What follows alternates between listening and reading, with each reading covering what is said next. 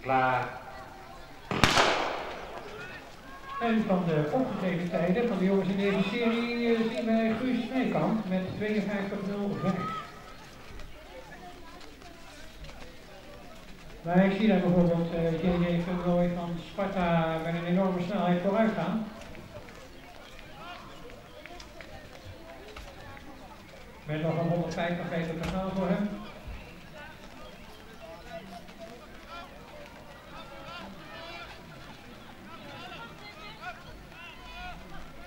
Dat uh, lijkt een snelle tijd te worden.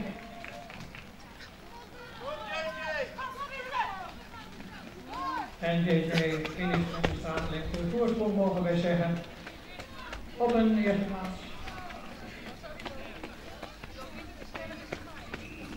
En we gaan even kijken naar de officiële tijd.